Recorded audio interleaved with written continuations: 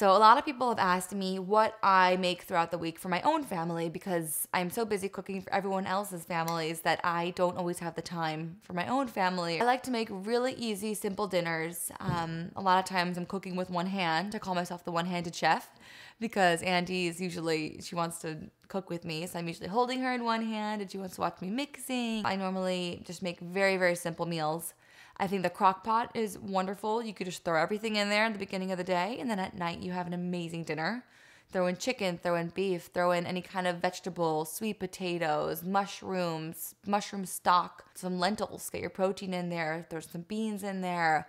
You know, it's just so easy and you just you leave it alone and it just does its thing and you don't have to worry about it. So I'm a big fan of the crock pot. I see why my grandparents loved it back in the day.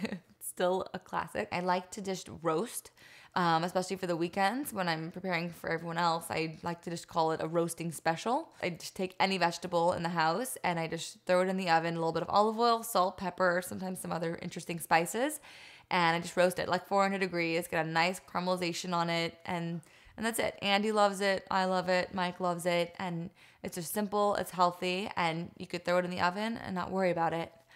Um, so that's what I do for the weekends for us. I make breakfast in advance. Sometimes I'll make breakfast the night before. I'll make pancakes the night before, boil some hard boiled eggs the night before.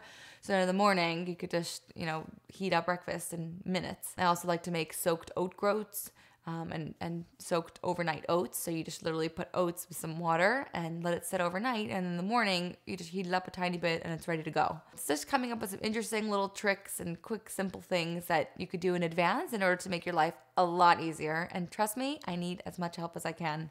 So those are my tips and tricks for you.